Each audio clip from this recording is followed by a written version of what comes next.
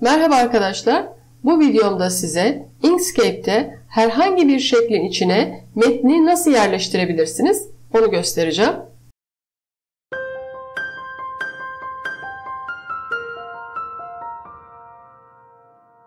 Inkscape dosyamda böyle 4 tane e, şekil hazırladım. Önce bir metin kopyalayacağım ve onu bu şekillerin içine yerleştirmeyi göstereceğim. Metni seçiyorum. Kopyalıyorum. Buraya gelip şuradan şöyle seçip yapıştırıyorum. Daha sonra şuradaki bu paragraf açıklıklarını kapatıyorum.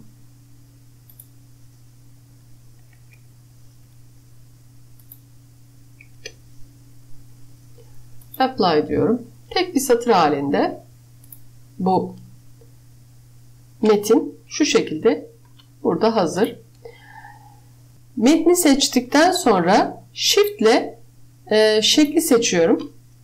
Buradaki metin bölümünde çerçeveye doldur seçeneği var. Onu tıklıyorum. Şeklin görünümünü alıyor.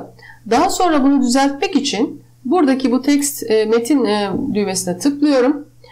Şuradan bunu zemine, e, merkeze ya da kenara dayalı nasıl istiyorsam bu şekilde bunu e, değiştirebiliyorum. Şöyle merkeze yapacağım. E, buradaki şu e, bölümden harflerin arasında boşluk veriyorum. Şöyle 8 vereyim. Biraz daha açılıyor.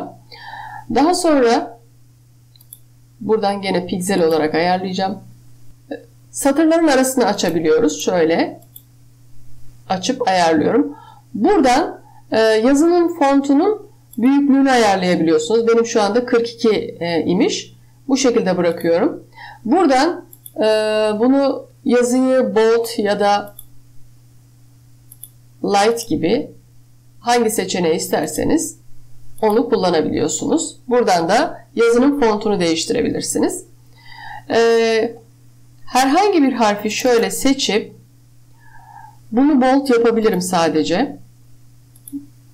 Ya da rengini değiştirebilirim. Şöyle yeşil yapayım. Bu şekilde rengini değiştirebilirim. Şunu e, bu şekli kopyalıyorum şimdi. Biraz büyüteceğim. Şöyle. Geriye alıyorum. Daha sonra ona bir kenar rengi vereceğim. Şöyle. Bu şekilde içine yerleştirebiliyorsunuz şeklin. Eğer istersen şu yazının fontunu beyaz da yapabiliyorum. Yine şuradaki şu seçtiğim kelimeyi yine böyle değiştireyim. Bu şekilde değişiklik yapabiliyorsunuz. Diğer örneklerde de kısaca göstereyim size. Yine bu e, metnin kopyasını alıyorum. Önce metin seçiliyken Shift tuşuna basıp istediğim şekli seçiyorum. Metin çerçeveye doldur diyorum. Burada da bu şekli al, e, bu şeklin görünümüne metni uyduruyor. Yine bunu da bu şekilde merkeze ayarlayabiliyorum. Şu metni kopyalamayıp bunu kopyala diyorum bir kez daha. Bu şekilde de yapabilirim. Daha sonra o kopyaladığım seçili şu anda ve bu kalp e, şeklini seçiyorum. Metin çerçeveye doldur diyorum. Bu sefer metin e, kalbin e, şeklini alıyor. Yazının rengini beyaz yaptım. Şuradan kenara dayalı ya da merkez satır arası o oh, pardon satır aralarını satır arasını biraz açabilirim. Burada bir noktayı daha göstermek istiyorum. Bu yazı ve şekil birbirine bağlı değil. Şöyle farklı e, gördüğünüz gibi birbirinden bağımsız hareket ediyorlar. Şekli seçip Ctrl Shift basılıyken şeklin büyüklüğünü değiştirmek istersem yazı da onunla birlikte büyüyüp ya da küçülebiliyor.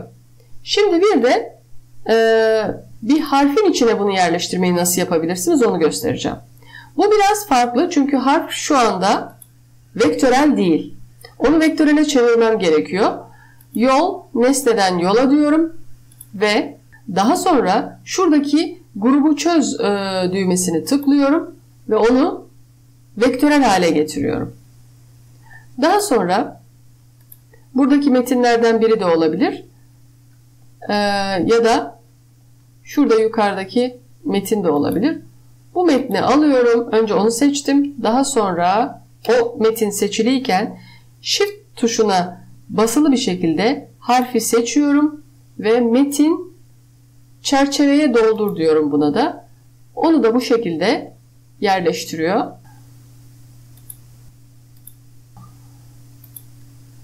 Harfte farklı bir görünüm olduğu, görünüm aldığı için şöyle e, fontun büyüklüğünü ayarlıyorum. Daha sonra yine merkeze deyip harfin üstüne metni yerleştiriyorum.